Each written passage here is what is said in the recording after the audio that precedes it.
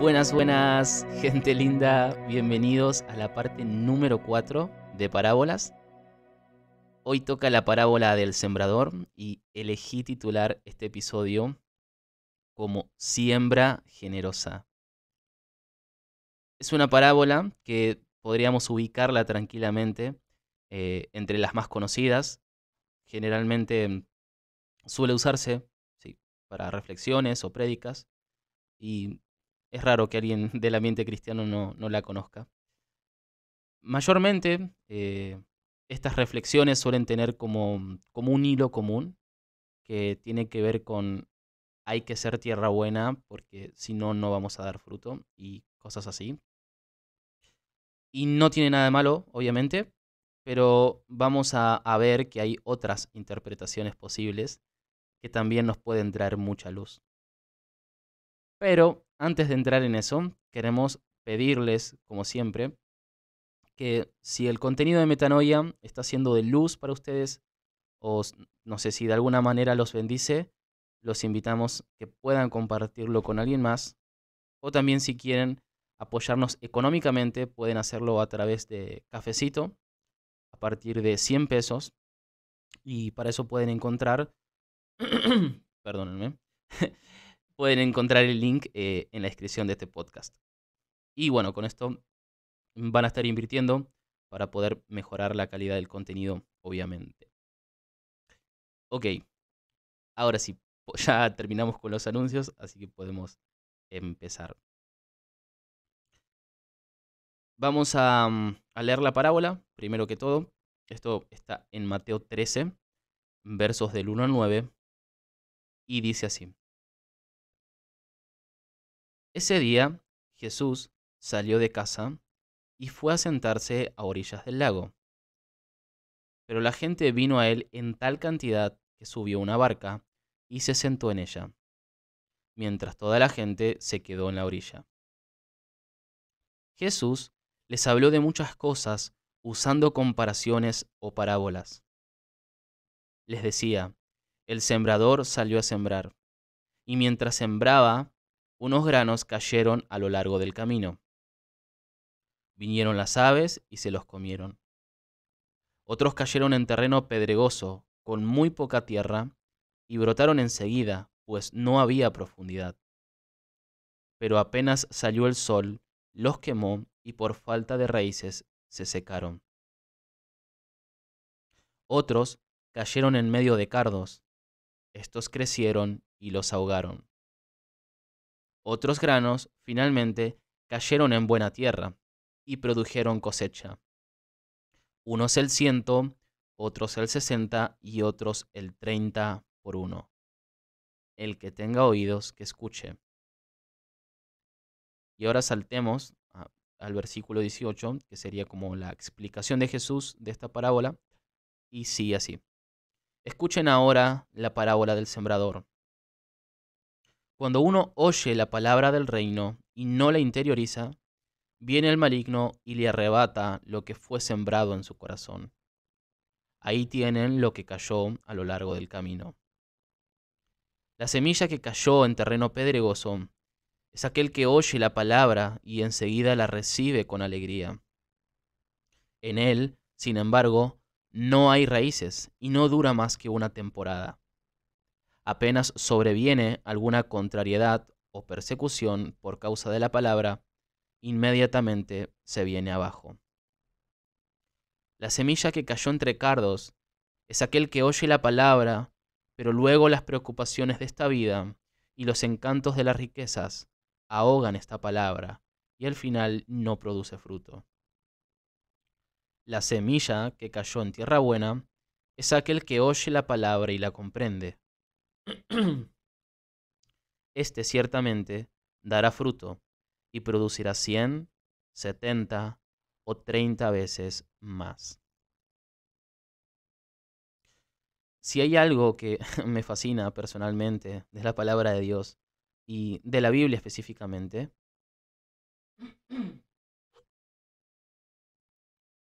es que sí, es, es como un tesoro inagotable. O sea, no importa las veces que leas la misma cita, es como que siempre tiene algo nuevo para decirnos. Siempre que dispongamos el, corazón y, y, que le pongamos atención a lo que leemos y abramos nuestro oído espiritual, siempre encontramos novedad en la palabra. Y primero porque la leemos obviamente en diferentes momentos y situaciones de nuestra vida, pero además y por sobre todo porque en Dios siempre hay novedad. Y obviamente que, no sé, si la leemos sin ganas o por compromiso o, o lo más rápido posible, seguramente que no nos va a decir nada nuevo y se nos va a hacer, no sé, aburrido, tedioso, denso. Pero si verdaderamente disponemos el corazón, el Espíritu Santo siempre está listo para, para hablar a nuestro corazón, para, no, no sé, responder a nuestra realidad o responder a una oración o alguna duda. Pero siempre va a haber una novedad de parte de Dios para con nosotros. Y hablando específicamente de esta parábola,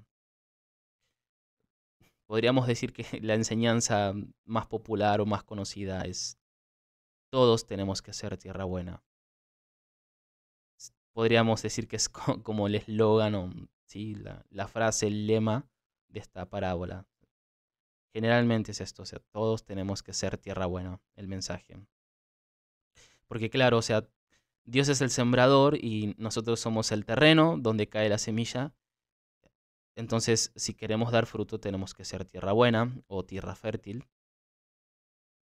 Ahora, no estoy en contra de este tipo de reflexión, pero creo que siempre, de alguna u otra manera, terminamos cayendo en la tentación de, de leer la palabra como, como si fuera un manual de instrucciones o de normas que nos dice detalladamente qué tenemos que hacer y qué no.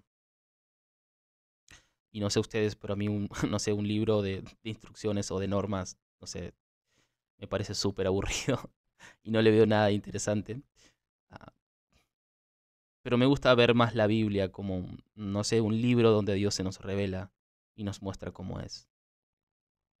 Porque entonces deja de ser aburrido y se vuelve súper interesante. O sea, porque siempre tenemos algo que, que conocer de Él, o sea, algo, algo más, porque nunca se agota ese conocimiento. Y el punto principal cuando leemos la Biblia justamente no tendría que ser tanto el qué tenemos que hacer, sino qué nos está diciendo de Dios esta cita o qué nos está revelando de Él.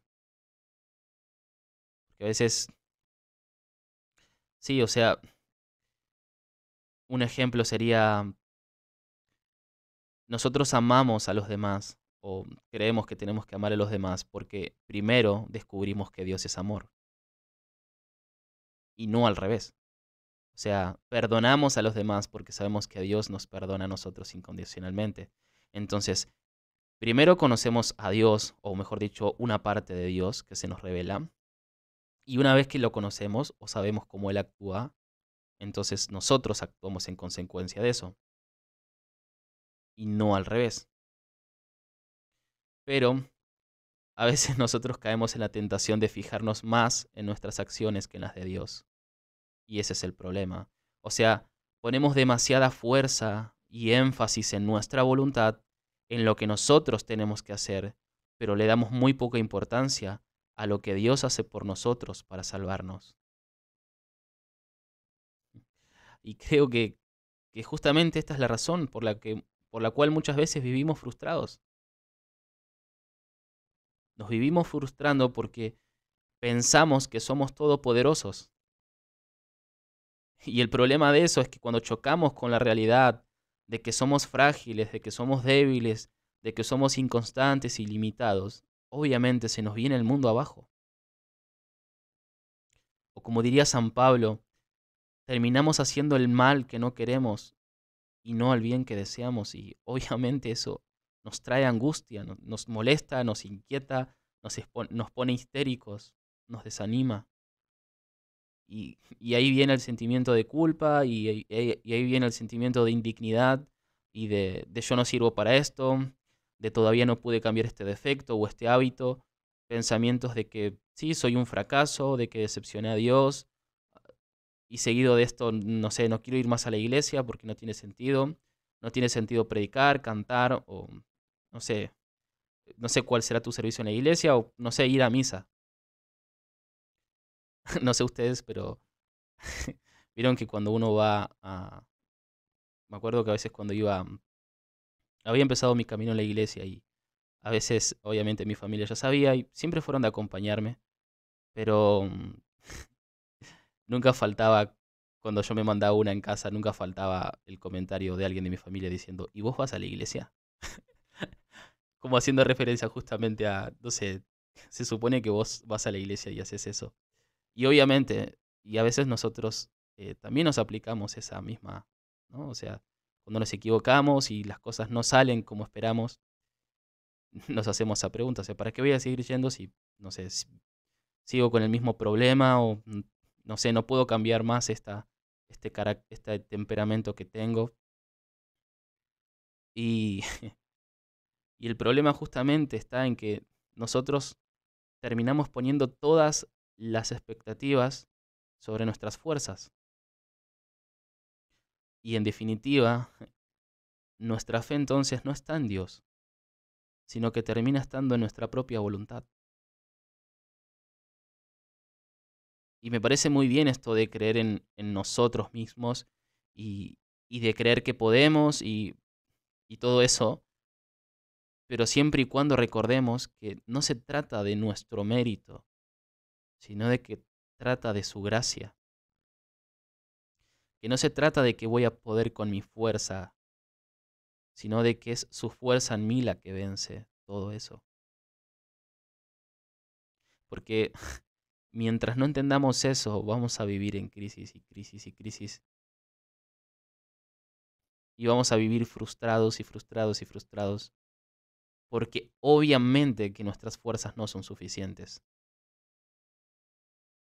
Y por eso Dios viene en nuestra ayuda. Y volviendo a la parábola, creo que por enfocarnos tanto en qué tierra tenemos que ser, terminamos ignorando lo más importante.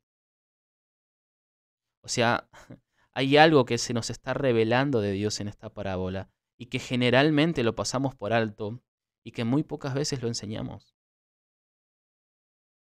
O sea, pongan pausa a este episodio o a este podcast y vayan a leer la palabra otra vez y traten, no sé, de notar algo diferente. Olvídense de, de ser tierra buena.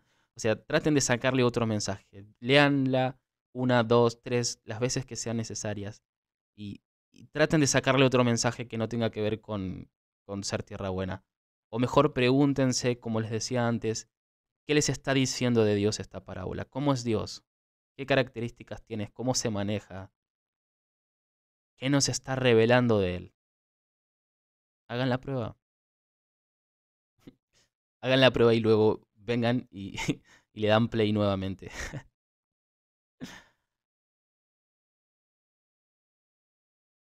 Porque lo, lo maravilloso de esta parábola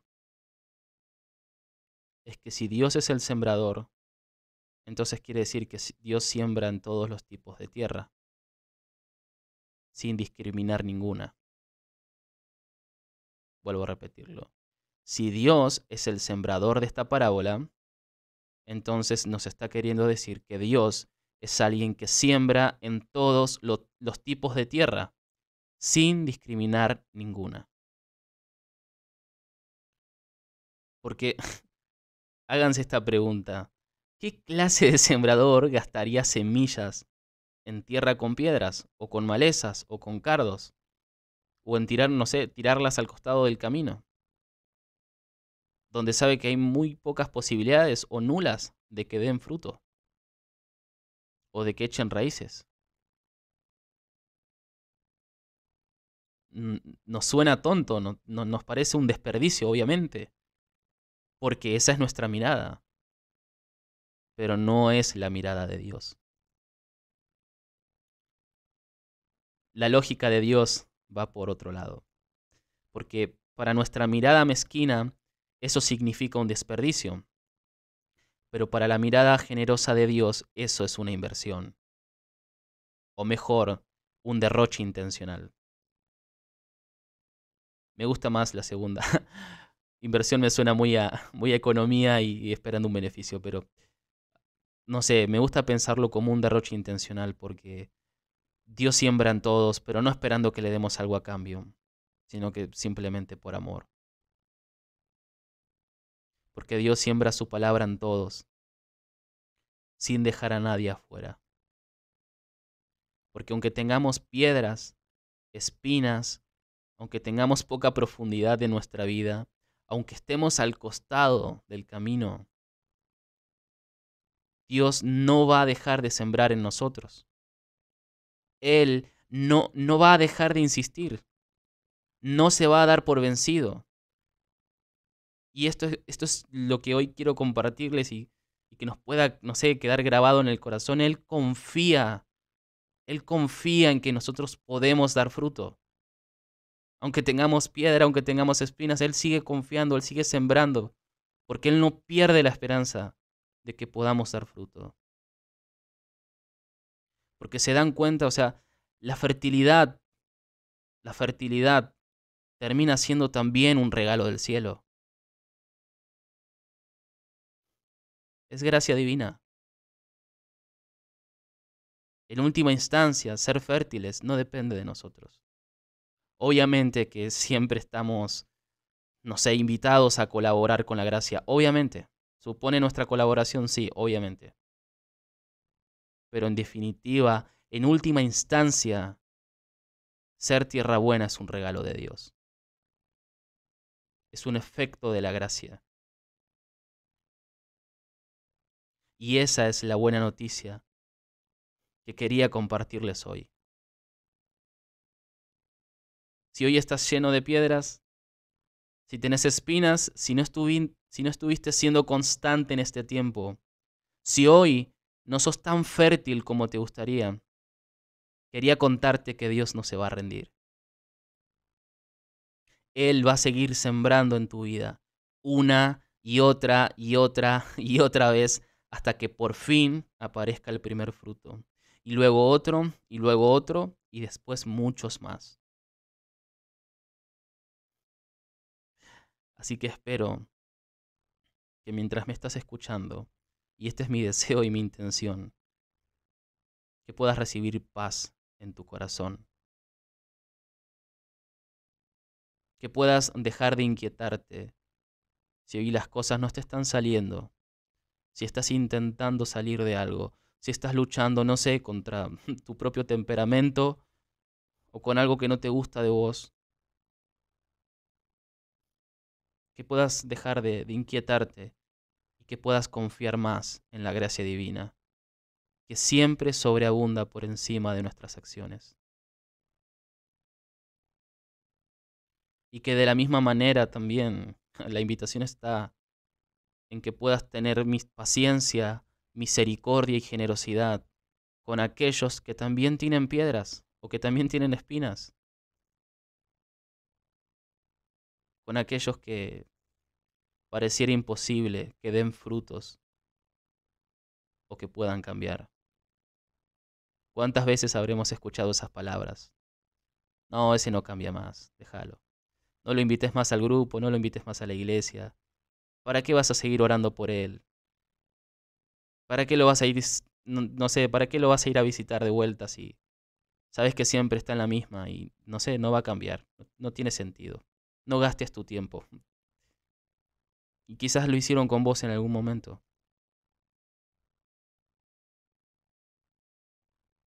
Quizás lo hicieron con vos también. Quizás esas personas están hace mucho tiempo en, en la misma situación, en la misma actitud, en el mismo pecado y pareciera imposible que la palabra de Dios pueda florecer en ellos. Pero nunca perdamos la esperanza ni la fe de que la gracia los transforme. O quizás ya los está transformando, poco a poco, en tierra fértil, aunque nosotros no podamos verlo. Que nosotros no lo veamos no quiere decir que no esté sucediendo.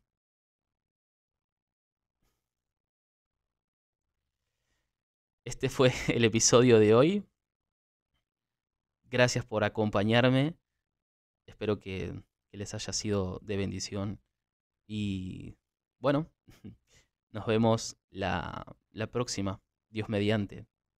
Recuerden que metanoia es renovar nuestra manera de pensar para transformar nuestra manera de vivir. Nos vemos la próxima.